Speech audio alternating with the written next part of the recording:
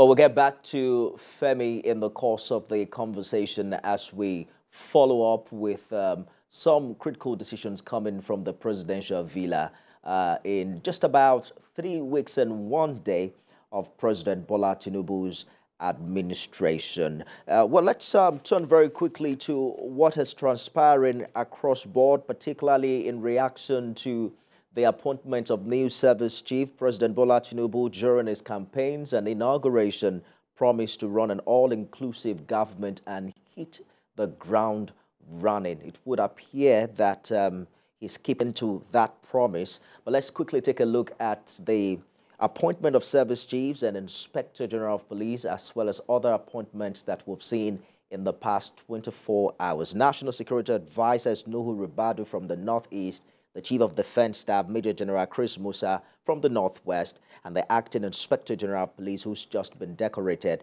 DIG Kayode Egbetokun, is from the Southwest. The Chief of Army Staff, Major General Taoreed Lagbaja, is from the Southwest. Chief of Naval Staff, Rear Admiral Ikechukwu Ogalla, is from the Southeast, and Chief of the Air Staff, Air Vice Marshal Hassan Bala Abubakar, from the Northwest region of the country, as well as Chief of Defense Intelligence Major General Epa Undiandeye from the South South.